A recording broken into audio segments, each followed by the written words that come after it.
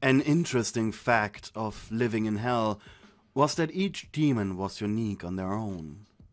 Even if they belonged to a wider race, such as spider demons, many needing special accommodations, often referred to as heavenly punishments.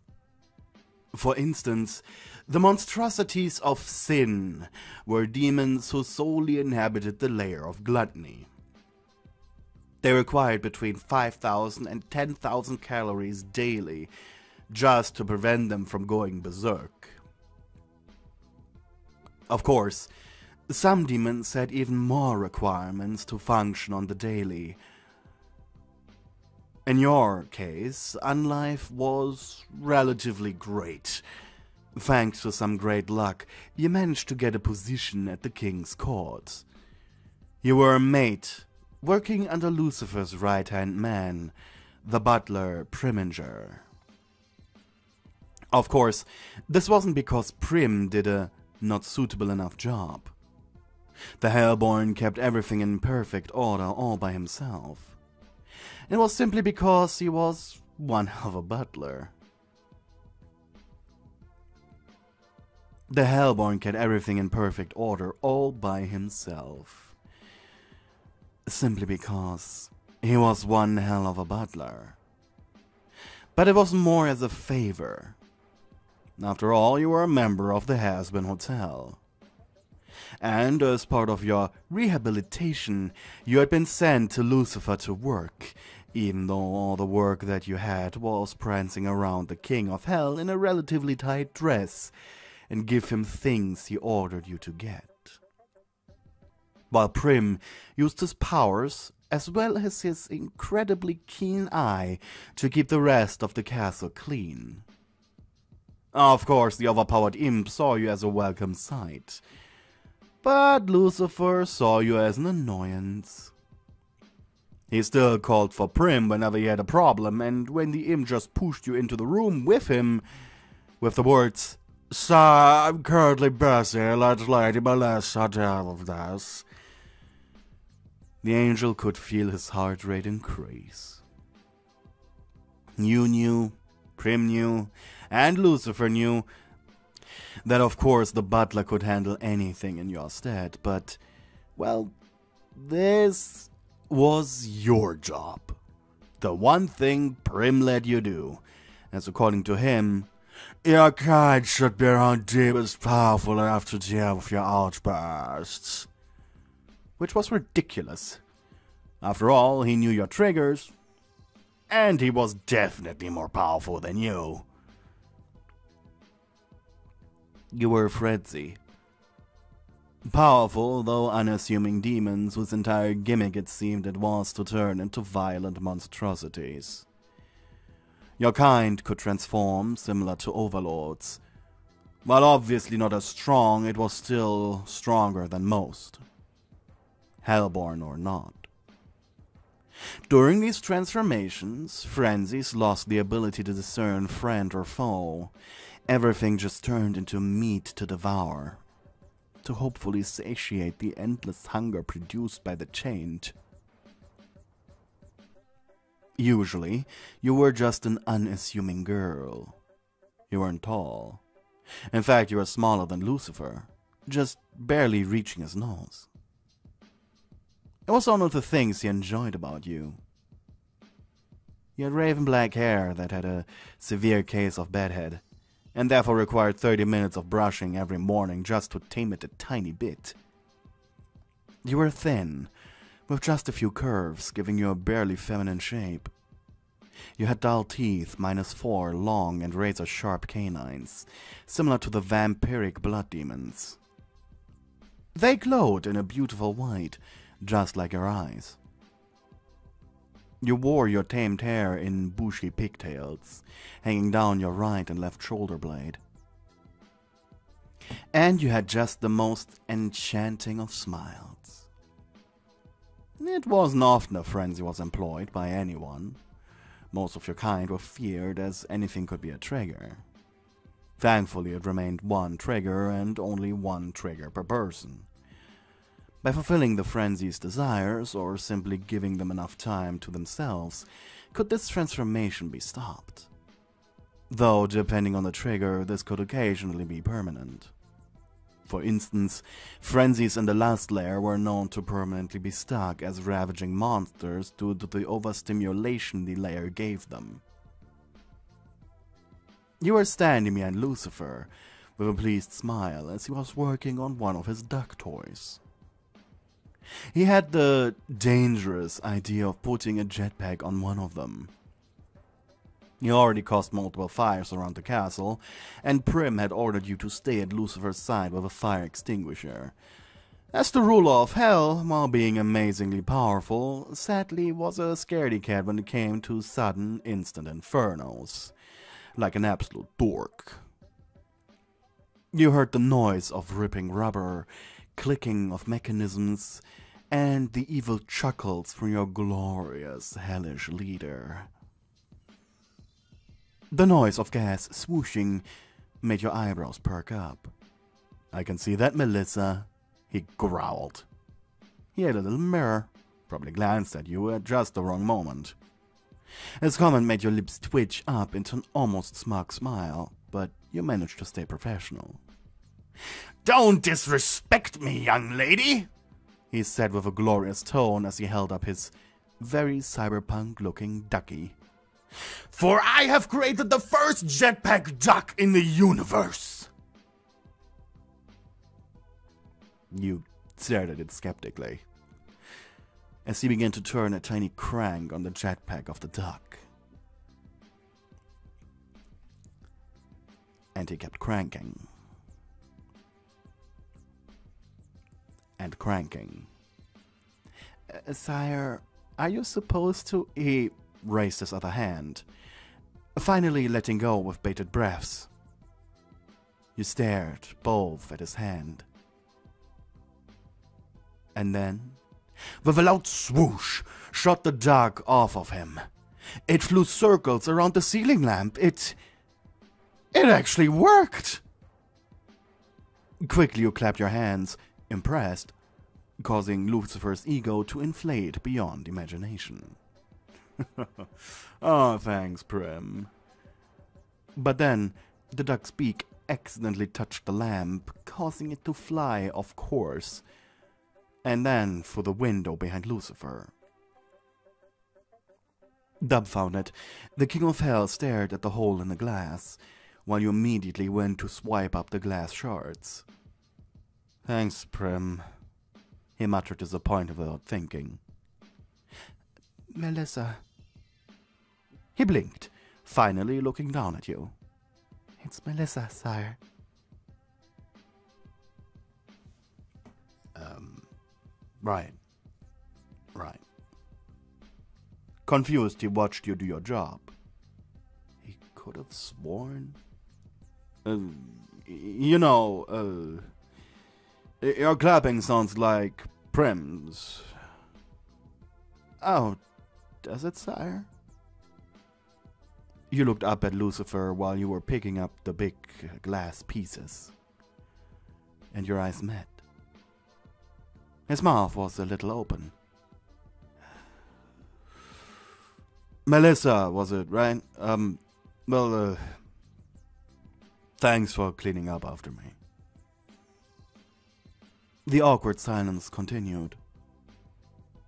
It took the man a few moments of thinking more than likely you talked to Charlie about his behavior towards you, so he probably should be nice to you.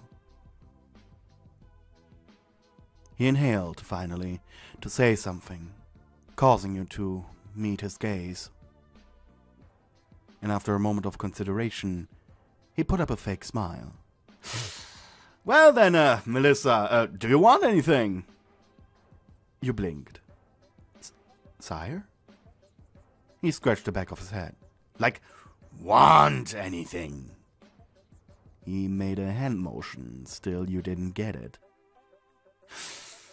Do you have something you wish for or need something? I'm trying to be nice to you. I'm trying to give you something. Oh. You blinked.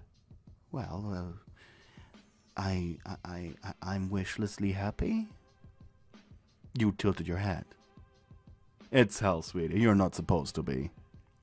Come on. There's always something. You snorted, causing you to look at the shards in your hands. Well, it is kinda silly.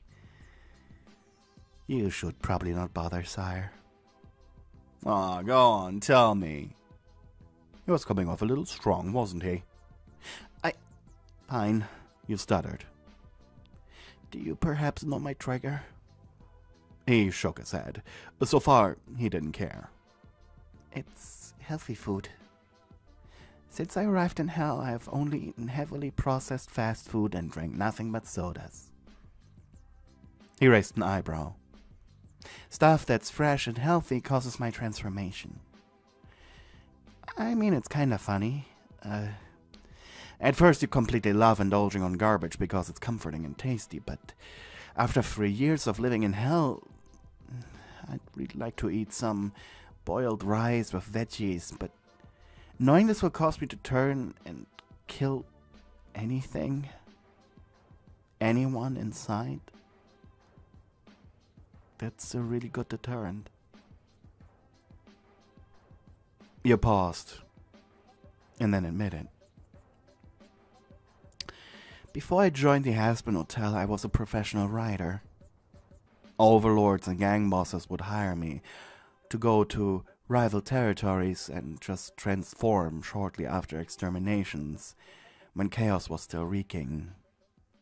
All I needed to do was eat two baby carrots, after all. The money was good, but I hated it. Wait, all you want is to eat something healthy? You blushed. Maybe. Lucifer went into thought. Go back to the hotel, Melissa. What? Uh, am I fired? The King of Hell furrowed his brows. Uh, no. Why the hell would... You're just free for today. Just, just go. Uncomfortably, you shifted. Okay, then. Uh, see you tomorrow. You left the workshop with a bad feeling in your gut. Meanwhile, Lucifer snapped his fingers, causing Preminger to instantly appear. Yes, sire, I apologize for my late arrival. God, did I ever tell you look hot in that getup? mused Angel Dust as you entered the lobby. Practically all the time. He was sitting at Husk's bar drinking beer straight from the bottle and was admiring your maid outfit. When you stop working for the apple flavored pin, can I borrow it? Val always orders the cheap knockoffs, and it'd be nice to wear some cotton for once. You blushed. Wouldn't it be a little too small for you? I, I mean, I barely fit in it. Melly, sweetie, that's the point. Uh, you're early, gruffed Husk, interjecting on the conversation.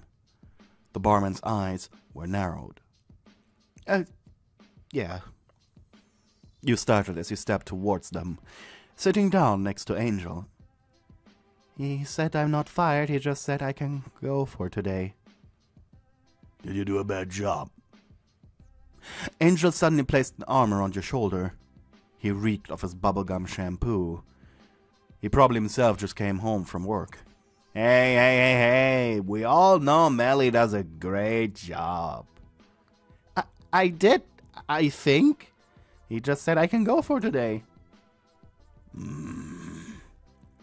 Husk narrowed his eyes and then shrugged. I honestly don't know why I even care.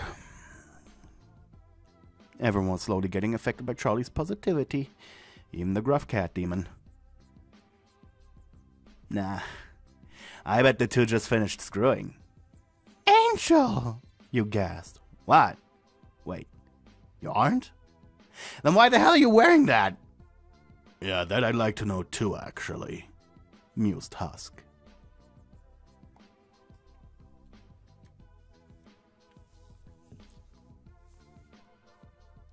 It was two days later.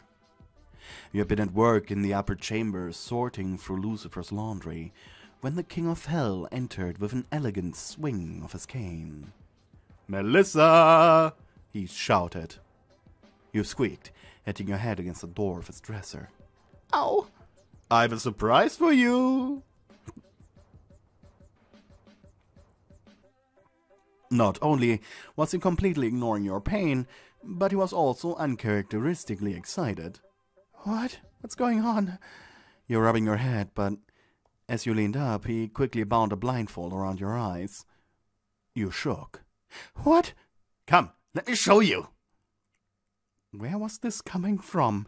Did you do something wrong? No, no, he was excited. You definitely didn't do anything wrong, but for the past days he had been acting so weirdly. Not even Prim had been there to talk to you. He had just left sticky notes with stuff for you to do on them, and once you finished, you could go. Well, it was nice coming home early, not doing much. It felt great. But right now, you really felt out of place, even more than you usually did. After all, Preminger was doing everything by himself better than you ever could. Since he was one hell of a butler. Lucifer placed his hands on your tiny shoulders, pushing you through the castle. The blindfold wasn't all too thick. You could barely make out your surroundings, and such you didn't fall. Even after he pressed you towards the stairs of the castle's manor. Sire, please. Shush, Melissa. Don't ruin this for yourself. It's a special little occasion. With a pout, you allowed him to guide you down the stairs into the dungeons. Um, sire, uh, please, this isn't anything kinky, right? He stopped for a moment. No? The silence that followed was strange. Now that you said it out loud, the suggestion was in both of your heads, and both of you now reflected deeply onto your time together. Was Lucifer really only doing this just in case he told Charlie that he was a bad boss? And you, well, you were a sinner. Screwing your boss wasn't something frowned upon. It was something expected. Hell, Angel did practically daily, and the conversation and the conversation with Husk and Spider was still occasionally drifting into your mind. After the awkwardness subsided, he continued guiding you forward. The moist smell of the dungeons was almost gross. Almost. But you had sorted thousands of wine bottles over the course of a single week down here. You were used to it. Eventually, you were pushed into what seemed to be a white, modern room through the blindfold. A certain smell reached your nostrils. With a swift motion, Lucifer undid the cloth around your face to reveal a rather sterile looking white painted metal panic room. And it sent us to the big dinner table, on it a silver tray, a silver dome covering whatever food it was. Sire, you could tell where this was going. I just thought I'd give you what you desired most. He sat you down on a metal chair that was a little uncomfortable. He then pointed at a glass window, through which you could not see. We are going to lock you in here, and when you turn back, we let you out. Simple as that. Sire, you, you don't have to. This was so embarrassing. Above you was a metal grate through which fresh air was pumped. The room itself had a cozy 20 degrees Celsius and smelled pleasant, of fruity detergent, with just a hint of the meal beneath the silver dome. It's fine, Melissa. It's fine. Just enjoy yourself for once, alright? Do it for me. That's an order. Lucifer stepped outside and you heard the door close and lock. He seemed really determined to, whether you wanted to or not, make you eat whatever was under there. Meanwhile, Lucifer went into the observation room. Sire, I have to ask, is this really necessary? asked Prim finally. Uh, you are the one who spent two days building this, and now you ask that? Well, sire, as a bachelor, I am not to question your actions. Though, this is mere personal curiosity. That is why I built it first before asking. I. well, she seemed like she needed this. That is quite alright, though that is unlike you, sire. Preminger blinked before looking at the watch from his breast pocket. Uh, it is time to clear out your study, sire. I apologize for leaving you behind, though I'm confident you can deal with this yourself. There was a look of mild amusement on the imp's face. Clearly he was thinking something that wasn't there, but before Lucifer could retort, the imp was gone. Sighing, Lucifer sat down on a stool in the observation room. By now you had lifted the metal dome of your tray and gasped. It was a Japanese-style curry, specifically a chicken one. Not like the microwave crab you usually ate, it was freshly cooked. Heck, the carrots actually looked like carrots.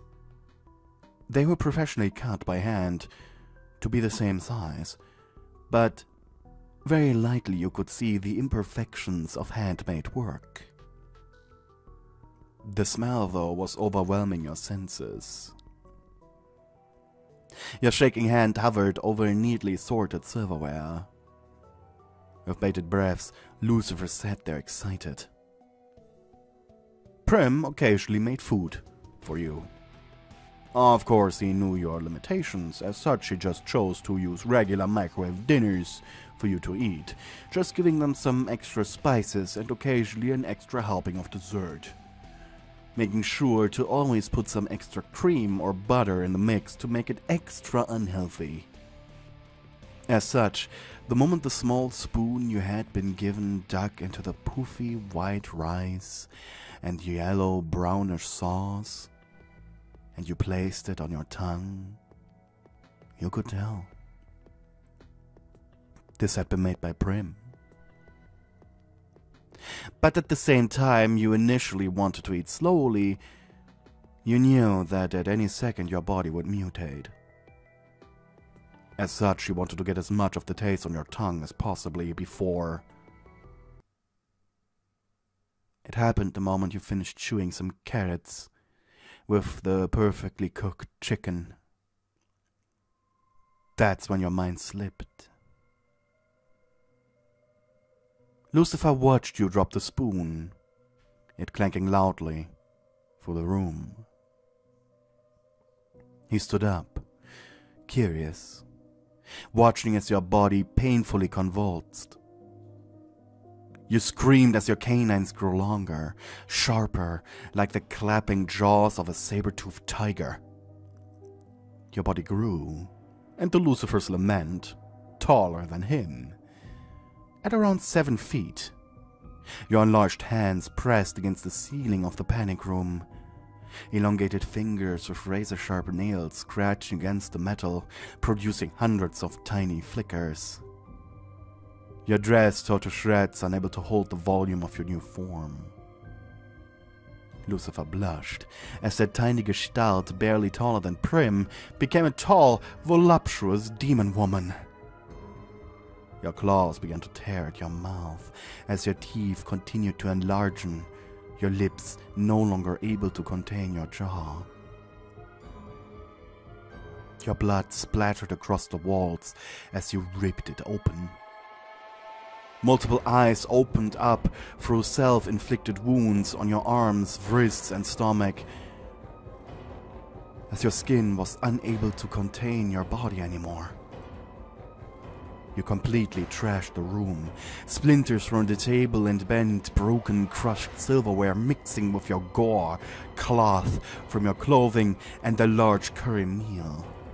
All of which you proceeded to devour with reckless abandon.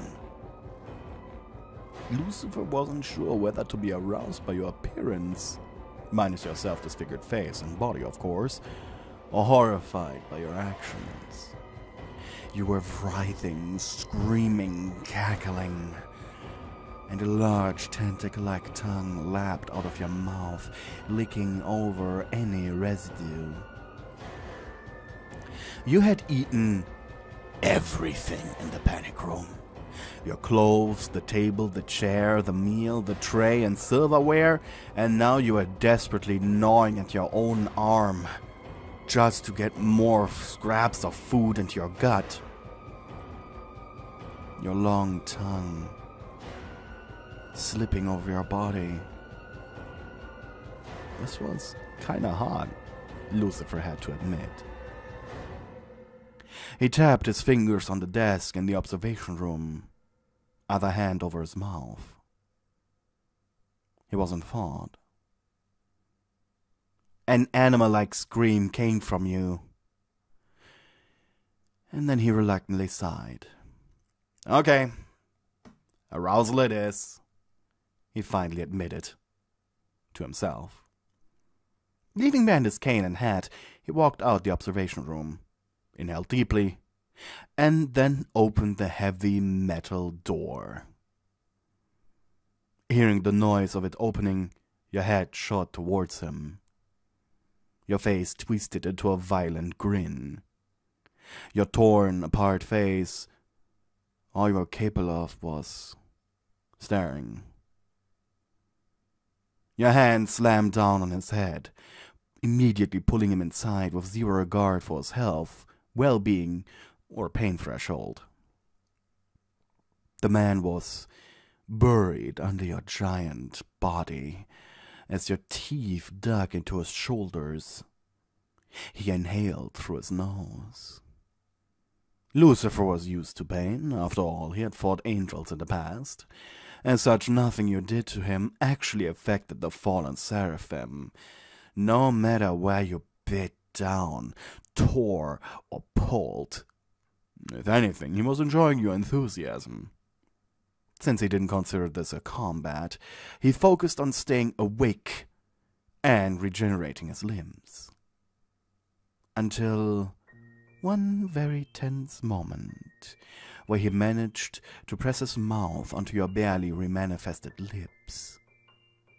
A kiss, as violent as it was beautiful.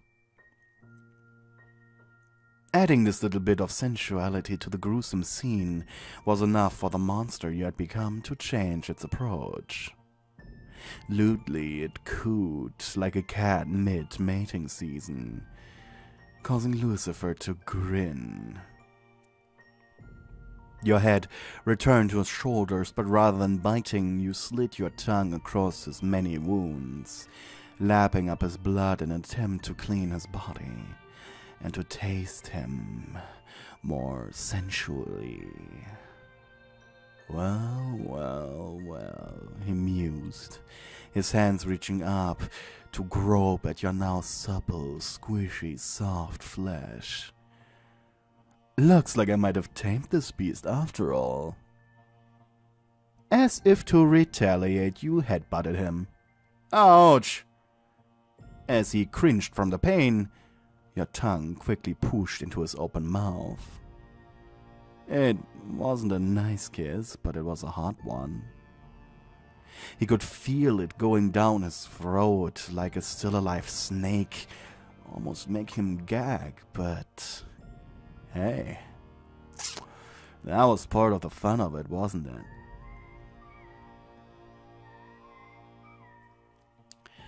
It was 12 hours later. The two of you are lying in a puddle of yellow angel and black demon blood. You are curled up, sleeping soundly in your regular form. so cute, so small. He couldn't believe that you had just been a monster minutes ago. Meanwhile, he was gasping for air. Saw. Lucifer's eyes rolled to the right. Prim. Hi. The imp was holding a glass of water with some quickly dissolving tablet inside of it. Last time I was seen, Sire so tuckered out and happy was when Miss Lilith was still with you, Sire. Prim, please, no jokes about my ex-wife. I wasn't joking, sire. If I were, I'd take this opportunity. This was the joke, sire. And if I were you, I'd take this opportunity for growth. Opportunity for growth? wheezed Lucifer. As if on cue, you hummed in your sleep, rolling on your back, placing a hand on your forehead as you were slowly getting back to your senses. Just make sure she wakes up without a fright, sire. I hope the two of you enjoy the rest of the evening.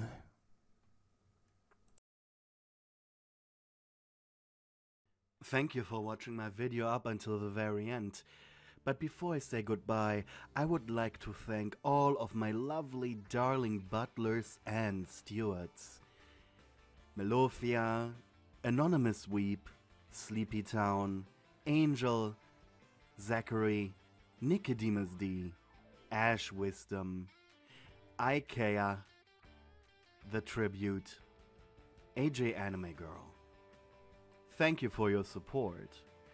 And one last thing, I would like to thank all of my other lovely mates for being lovely supporters. Thank you for watching. Goodbye.